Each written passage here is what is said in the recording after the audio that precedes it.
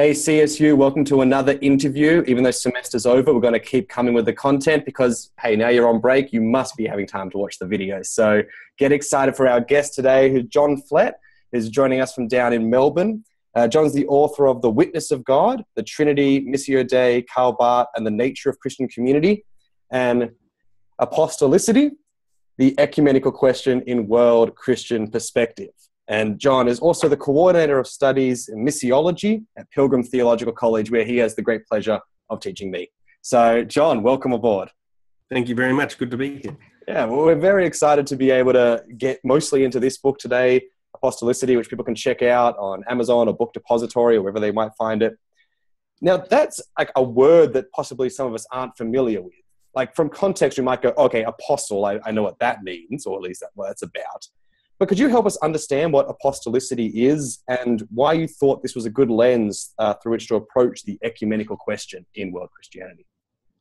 So it's, yes, not many people might know about it, but uh, the fact is, apostolicity was sort of the question at the heart of the Reformation.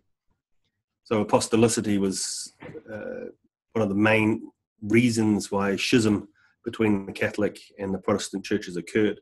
So one of the critiques was the reformers saw what they described as corruption within uh, the Catholic Church, and corruption soon, the complaint of corruption soon became a discussion concerning authority.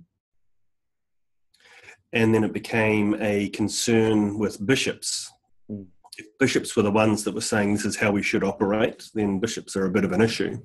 And uh, so you had some lines of the debate that were perhaps saying, you need to listen to us, we're the ones in authority. And the reformers then sort of said, well, where do we go if uh, that authority isn't necessarily the best one? So they went to the Bible. So sola scriptura, uh, scripture alone, is actually a way of talking about apostolicity so apostolicity has got to do with how do you actually connect with the basis of the faith? How do we know that we are in some sort of faithful continuity through history in line with what Jesus said and taught? Uh, so it's right there, basic to the Reformation, mm. and it's caused a number of problems through the years. Should we or should we not have bishops? Mm. Becomes a very basic way of talking about things.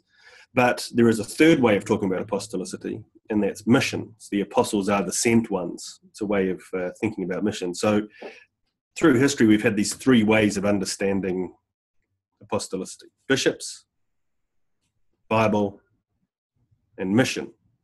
So this is sort of important for two reasons uh, with regards to world Christianity. The first has got to do with organic unity. So, organic unity within the ecumenical movement is a way of talking about structural unity that we are all together. So, there's one church. So, the uniting church is a type of expression at looking at organic unity. How can we have a single structure? In other words, how can we actually share communion with one another in the Eucharist? We run into questions here because for some traditions, the bishops are the ways in which you talk about the efficacy of the Eucharist. If there's no bishop, it becomes very difficult to say the Eucharist is doing its job. Uh, shared ministry. So if I'm ordained in one denomination, it's oh, sometimes very difficult to be transferred to another ordination. Sometimes you have to do more study. Sometimes it just doesn't occur. Uh, so apostolicity is then linked to the question of schism and unity. What is the nature of Christian unity? The problem is, because it's come out of the Reformation, it's a very determined question. So it's directed in a certain way. And it means that the structural diversity we see within world Christianity becomes read through the lens of the schism of the Reformation so, if the Reformation didn't occur and we had the Catholic and Orthodox churches, and the Catholic Church remained as it was and went through Europe and went to America, then all of the diversity you see in Africa, Asia, and Latin America, according to this theory, would remain within the Catholic Church. So, all of the different ways in which uh, the Christian church is becoming embodied around the world is all read back into the schism. Yeah. So there's a clear link between diversity and division. So when you read ecumenical documentation uh, concerning diversity, it's always put on put limits on it. So if you don't limit diversity, it leads to division. The question is, is that a correct assumption? The second assumption being made is, of course, that there uh, that continuity and diversity is linked to a movement of an institution, and this institution has gone from Jerusalem to Rome to the northern tribes, northern Europe, to the UK, to America, and then only at the end of that, it's become a world religion, which is, of course, historical nonsense. But it has a very it has a very strong theological driver to it. So one of the reasons why it's important is because it's actually set that uh, framework for understanding how we understand or perceive, relate to the manifold richness that is now world Christianity. The second reason it's important is because if we do understand apostolicity through the language of structure, Bible, and mission, then these are the key focuses within world Christianity.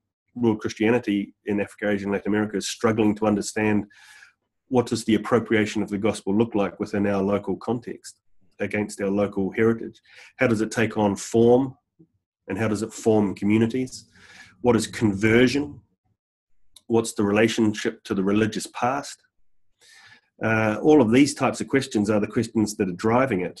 So it's got nothing. It's not a. It's not an issue of should we or should we not have structure. It's an issue of how do we actually speak the gospel through the structures that we do have. What is conversion conversion of these structures? So this type of discussion within world Christianity is is really not, in my opinion, well understood or well incorporated within the more formal ecumenical discussions concerning organic unity. But I think that a better understanding of Christian diversity and how it actually functions in forming communities and forming structures uh, will lead us to better answers for Christian unity more generally. Yeah, that's great. Thanks, John. That's a really good uh, initial like introduction to what the problem is, and I think the book does that really well in the early chapters of showing just how certain assumptions uh, just carry through so predominantly in the way we conceive world Christianity. So, uh, thanks for breaking that down a little bit for us. Um, one of the important arguments in your book, or at least that I found important, was your identification that different structural expressions of the church emerging out of cross cultural transmission are met with often suspicion or, as you say, fear of creating division, uh, rather than being embraced as, and a quote here, a positive consequence of the lived appropriation of and witness to the gospel by identifiable Christian communities in different historical and cultural settings. Um, could you expand a little on this argument for us and how you feel that a pluriformity of expression is actually more consistent with the New Testament witness than we might first uh, suspect? So there's a fair bit of jargon in that, pluriformity of expression being one of the things. I'm good at jargon. Uh, the uh, question might be broken down in terms of uh, an interpretation of diversity. How do we interpret diversity? And what are the criteria and authority by which this diversity might be evaluated? So the language, there's no agent in the question per se. It's just this is being met by. So who's meeting this? Who's meeting this with fear and suspicion? Right? Yeah. And yeah, it, tends to be, it tends to be uh, Western authors. Yep. So Western authors are meeting this with fear and suspicion. Uh, we talk about fear and suspicion when we were being threatened. Hmm. So, what's under threat? Where, where does the fear response come from?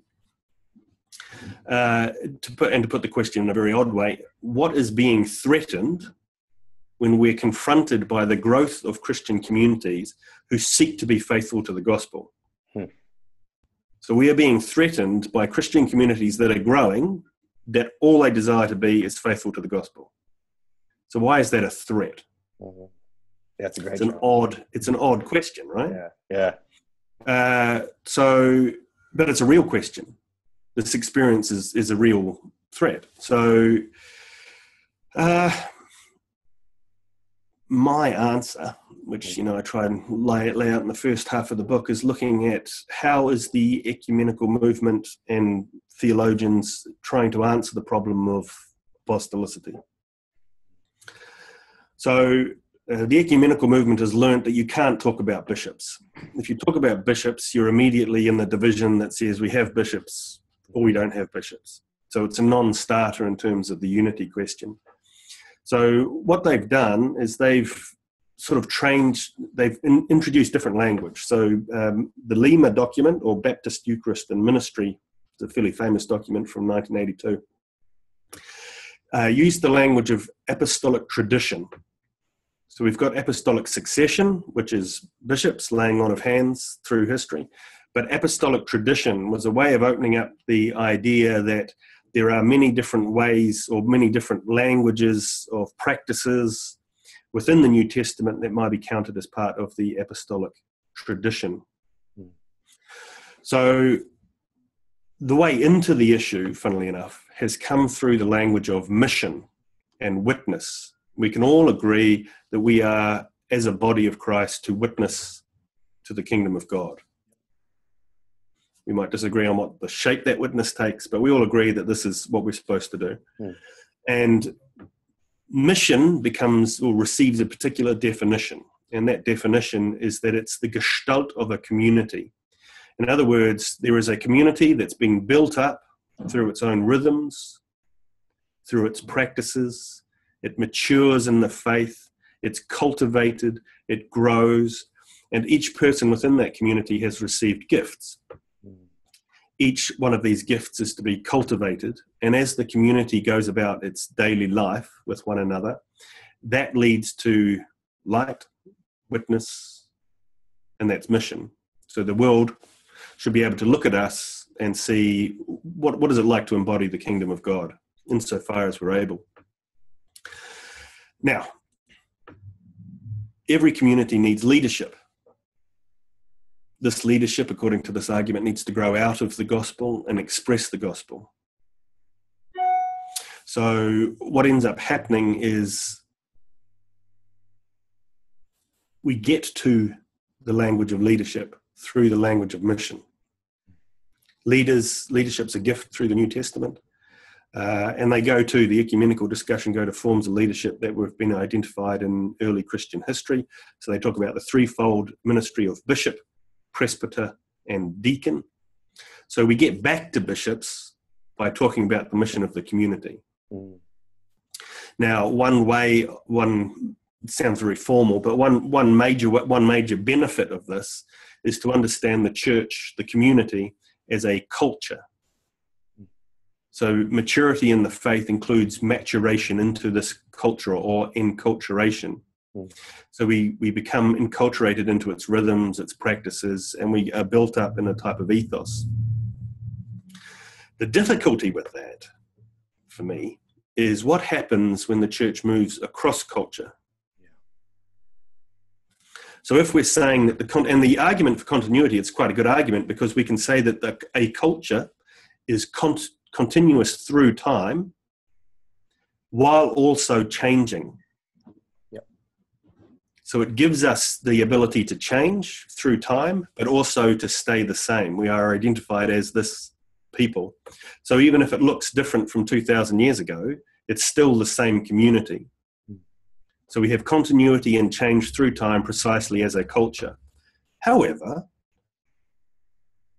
if we go across cultural borders, all of a sudden we look very different because we're built up with certain rhythms so we looked at we look very foreign in different places. Now, the form of mission that that takes, in my opinion, is colonization. Mm. Because essentially, we're saying we're planting a different culture somewhere else, and you have to be enculturated into this culture. And then you'll find arguments that basically say, well, okay, the culture that we're talking about has gone through Western civilization, but that's also part of God's good graces. So if you now have to take on forms that look very, very English or very German, that's actually part of the good grace of the gospel of God converting cultures. I find the argument a bit problematic, but it's the one that's driving, well, it's driving a lot of people. Mm-hmm. And you can read an awful lot of material now that basically says we've lost tradition, the way in which we witness to the gospel is enculturating people into it through Eucharist, through baptism, and this then creates an identity, the Christian identity. This identity is the thing that's over against globalization or whatever it is.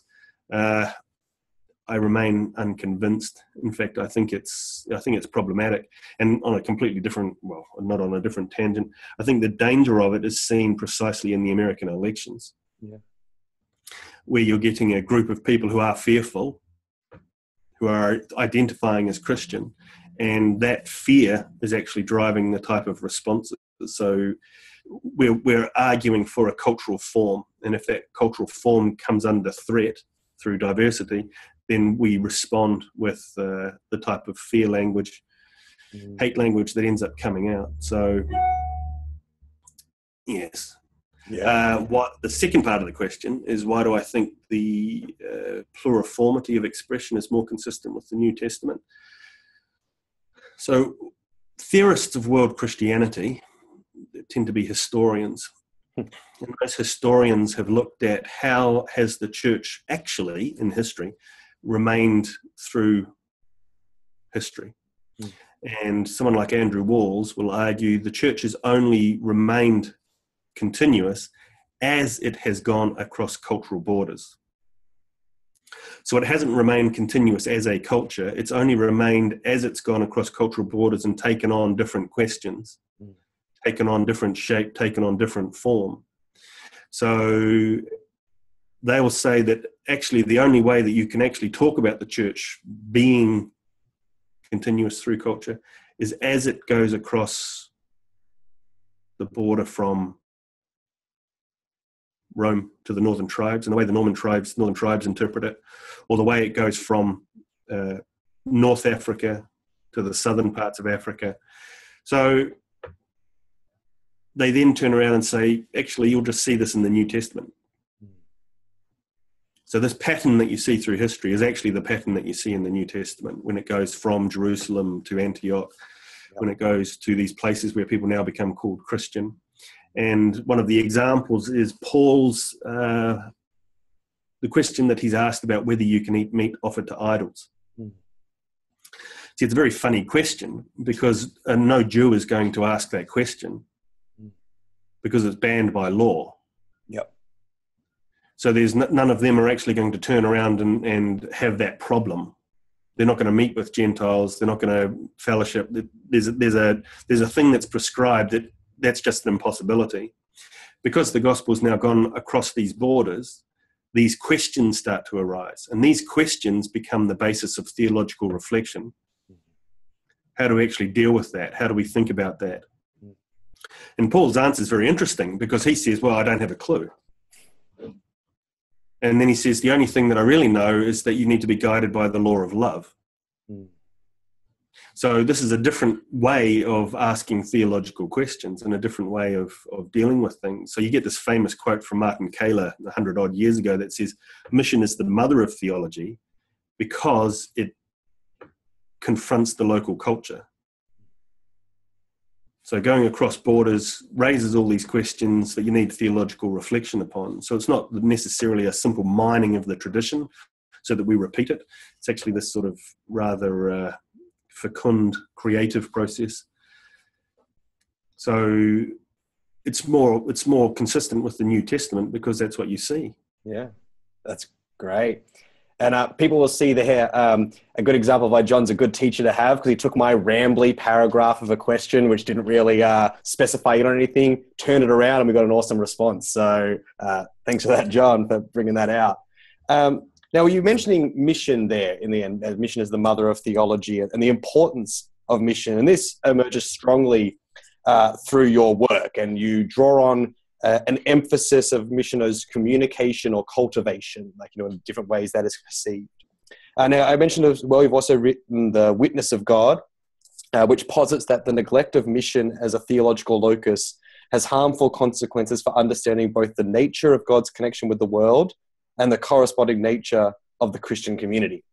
Now, in, in previous uh, interviews, uh, the one with David Congdon in particular, I've gone on and on about my like past and even maybe present cringiness and, uh, and skepticism to the kind of idea of mission because in my mind, I've got all this baggage of, wait, isn't that when the church went wrong? Isn't that what led to colonization? Isn't that what currently leads to like people getting Facebook profile pics with um, young African children? You know, isn't that what leads to people doing turn and burn? You gotta like that kind of thinking. Um, however, what we're seeing from, I guess, from your book and from your response is that mission is actually what keeps the church from imposing the center on the margins and, and from reducing the proclamation of the gospel to the enforcing of a culture.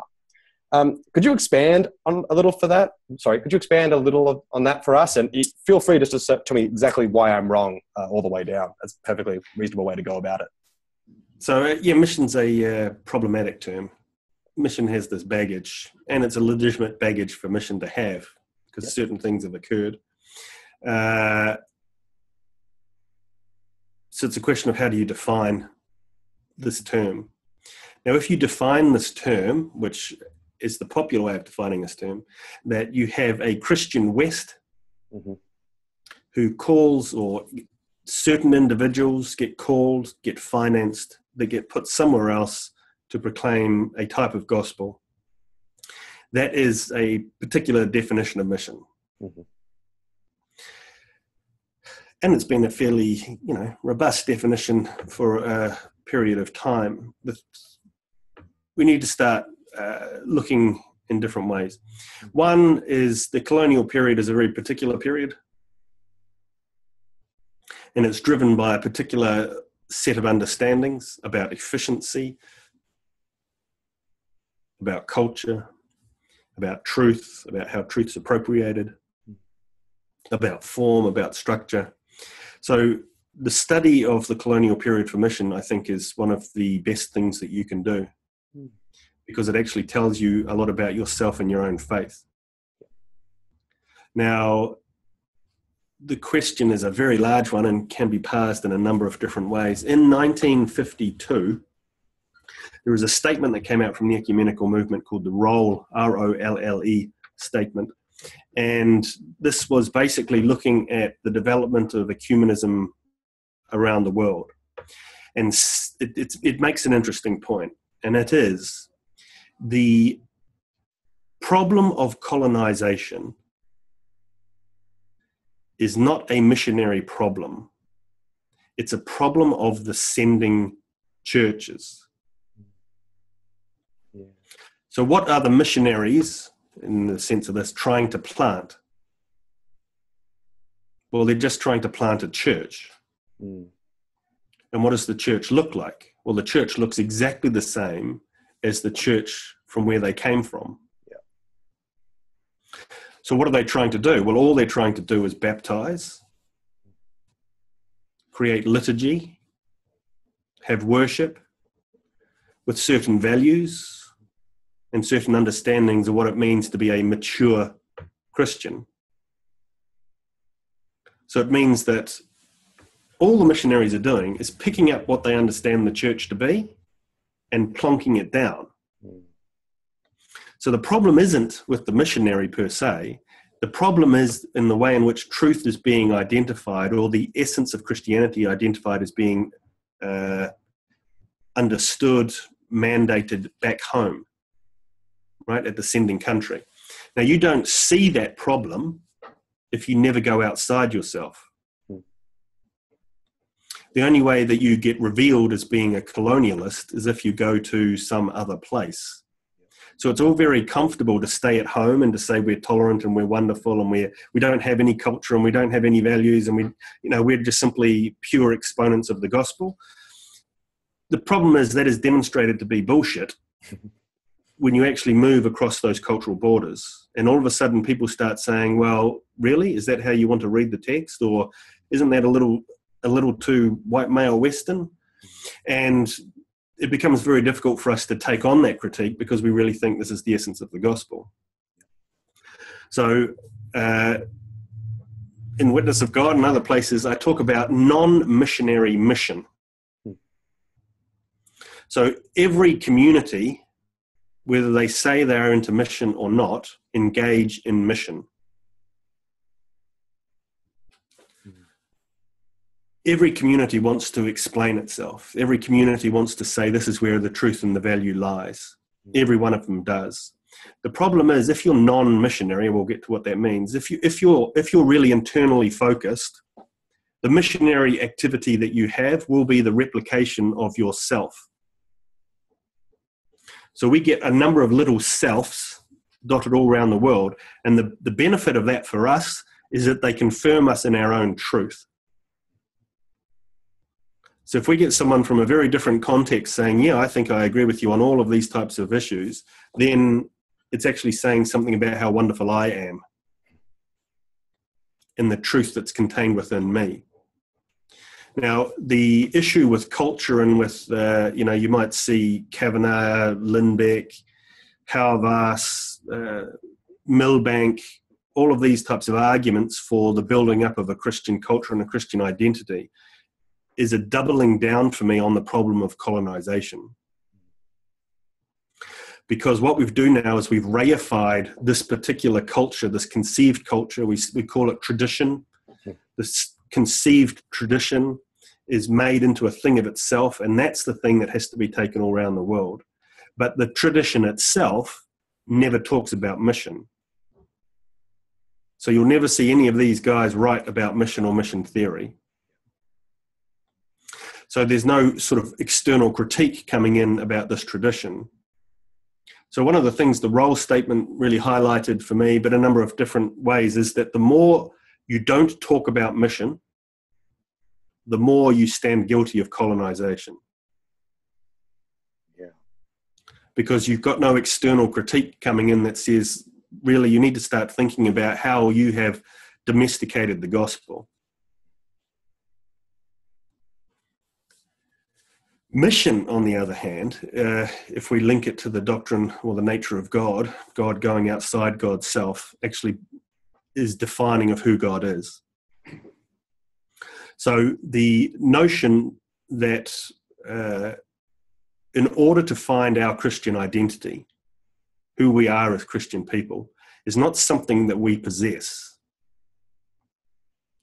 It's only something that, as in the impulsion of the Spirit, we go outside of ourselves and talk about the gospel. So, only as we're doing that do we start to understand the nature of Christian identity. And the more people that we start having discussions with, and the more sort of crit- criticisms we receive back, uh, shapes how we understand our community. Yeah. So, an example, I mean, easy, there are just so many examples now. Interreligious dialog mm-hmm. clear example. Migrants, refugees, clear example.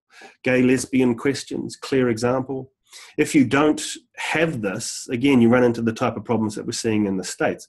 But the states are a simple way of saying this is actually happening here. We're doing the same thing. We just can't necessarily see it. Mm. One way that you can see it, I think, is uh, through Christmas. Because in Christmas, we have a Jesus that doesn't speak. In in uh, non-Western context, Christmas as a big religious holiday is actually marked by hospitality. Hmm. So it's inviting other friends of other religions over to your house and celebrating things. So it's a big movement of hospitality. Within uh, West, it tends to be a children's uh, service, which is banal, and then we go home and have family celebrations hmm. under a pine tree in Australia. So we have all these cultural rhythms that are built up as a central holiday that talks about God becoming incarnate in the most vulnerable, vulnerable position. So the family is poor, family is forced out of home, family is having to live with animals, family is i don't know if you've ever seen like a stable like a real small one where everyone's jammed in it ain't pretty there's yeah. shit everywhere sure. this is where the family's born Immediately upon being born, the family's driven out, they become migrants, they have to go to uh, Egypt under the pain of persecution.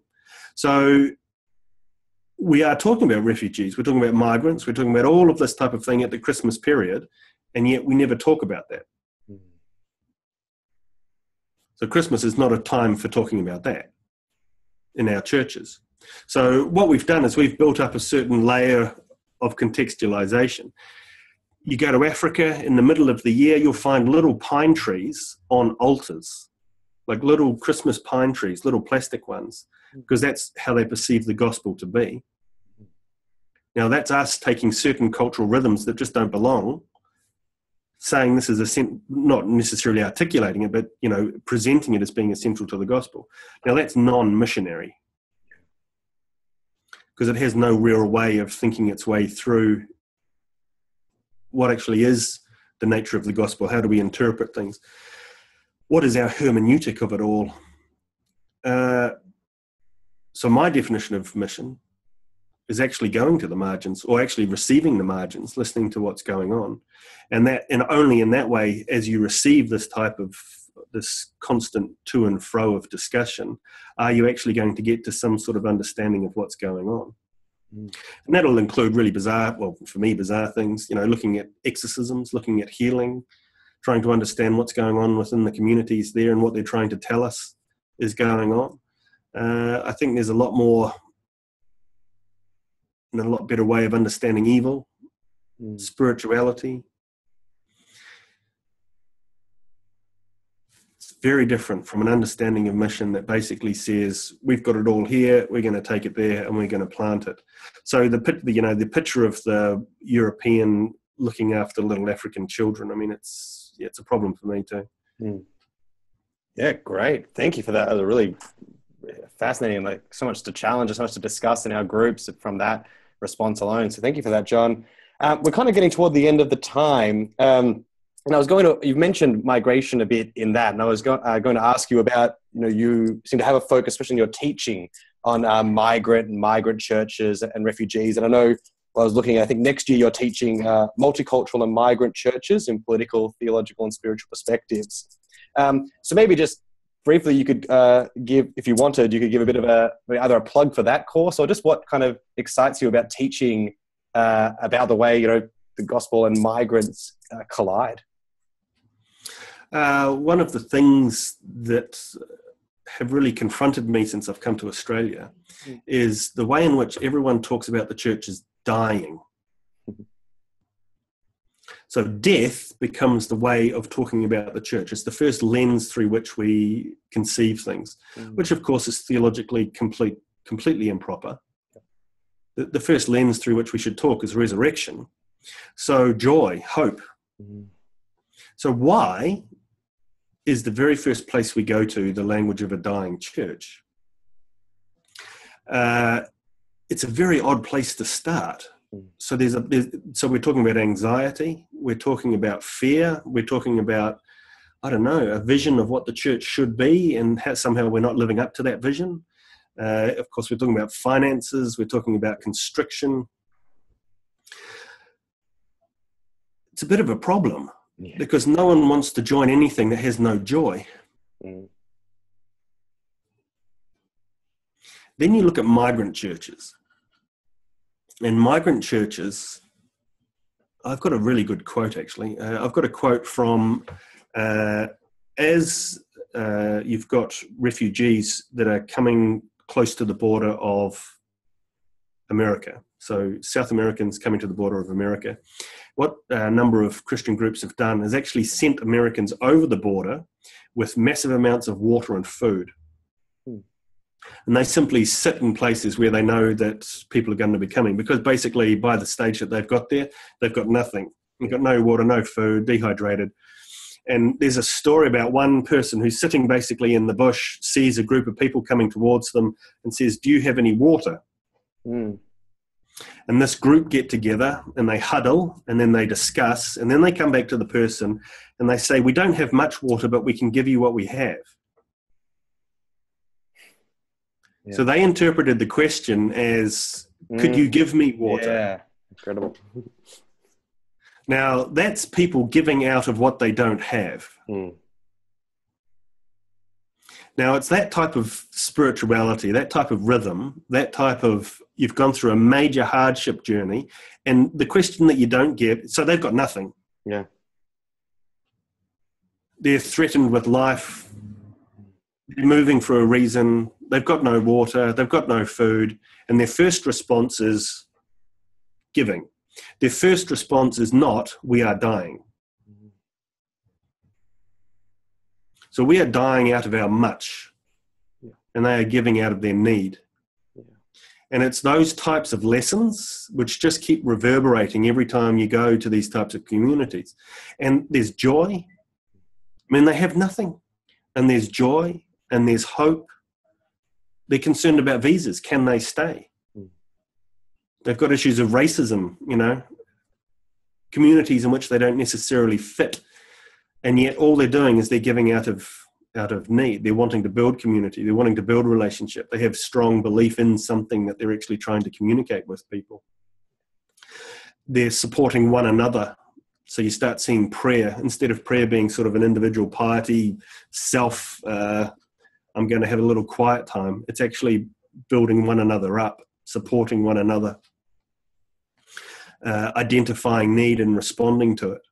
So it's that. What is that? It's not doctrine, although it should have a good doctrinal base. It's not spirituality in the sense that if we have a nicely laid out space that has appropriate numbers of candles and things like that, it's actually a response to human community and need. And I think if you can give, if students can catch that sort of image of what it is, I think you're liberated I think it's a freeing type of vision. Uh, so I've been, I mean, I've got a number of church services. Sometimes you sit through an hour long church service and you just wish God would take you now. Mm. Uh, other times you're there for six hours and you haven't even noticed it pass. Mm. And it's that sort of connection that I think a number of uh, Westerners are trying to look for Mm. And yet, on the other hand, we'd like to control everything so tightly that we can't actually, you know, even if that was jumping us and whacking us on the head, we wouldn't notice it. Yeah. So, one of the issues, what I tried to sort of talk about, and we actually visit Christian, we actually visit these communities mm. and then go and have chats and try and work out what's going on and why it's going on. Uh, advocacy and action the course itself takes three three different sections. Really, it takes the section of political theory. Mm-hmm. So how how how is politics actually shaped where we are now? Mm. The second one looks more precisely at uh, the at migrant churches, but challenges. One way of thinking about migrant churches is talking about cultural induction.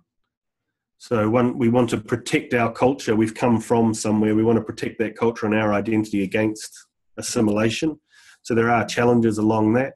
Uh, there are long challenges with things like 1.5 generation who don't really feel like they belong in either place. How do you actually talk about it? So I don't think migrant churches are the salvation of the Western church, which you'll get from a lot of a lot of discussions.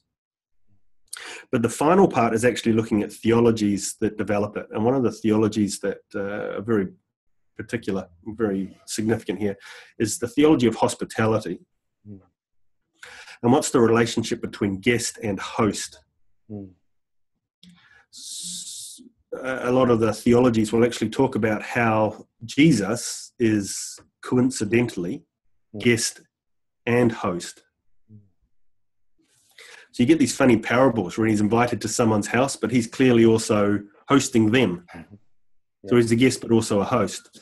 Uh, Eucharist's the same thing, guest and host. So one of the advocacy things I think we need to think about is how we are host all the time. And when we're host all the time, we are always in positions of power. Yep. And when we're always in positions of power, we're not empowering other people. Mm. So we're encouraging dependency, we're encouraging all of those types of very, very negative sort of things. We're not actually allowing people engage with their with their now local environment. So, one of the things about the study of this, hopefully, is learning how we are also guests in relation to refugees. Mm. That's yeah. yes. Oh, sorry, that's fantastic. Yeah, I, I, I, really people should check that out. Um, Pilgrim is great online, so even if you're not in Melbourne, uh, have a look into it. Um, John, thank you so much for being here. And uh, is there anything we can, other than people going and buying Apostolicity, buying Witness of God, and rating and reviewing on Amazon and all those good things, uh, anything else you'd like to uh, plug or shout out? Oh, dude, enroll in the courses for sure. Yeah, good fun. Yeah, great. Yeah, people should check them out. Um, well, John, thank you once again so much for being here. And uh, yeah, we look forward to discussing all of this uh, going forward. Wonderful. Thank you very much.